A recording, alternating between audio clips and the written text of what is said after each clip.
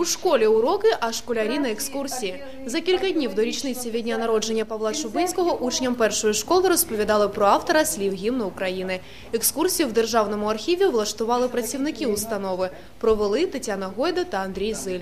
Наша Бориспільська земля е, народила Павла Чубинського е, і е, розповідаємо ми про нього з перших років діяльності нашого музею. В історичному музеї з дня його відкриття працює експозиція, присвячена Павлу Чубинському. Віктор Йова, засновник музею, збирав дані про Павла Платоновича, починаючи з 1967 року.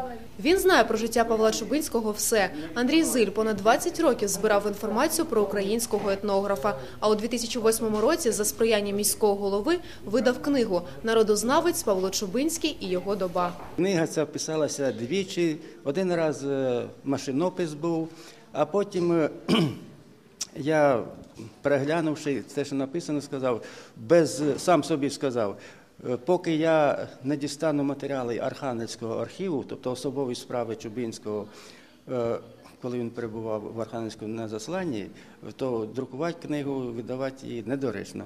Павло Чубинський був і етнографом, і фольклористом, і громадським діячем та відомий багатьом як автор слів національного гімну. Наш гімн співається не- неправильно.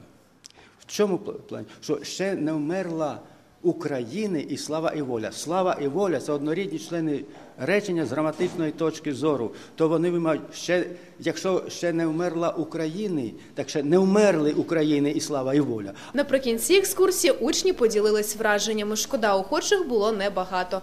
Мені е, запам'яталось найбільше те, що Чубинський е, завершив лише 6 класів. Закінчив Петербурзьку академію і став професором. Ксенія Веркалець, Ігор Романенко, новини телеканал Бориспіль.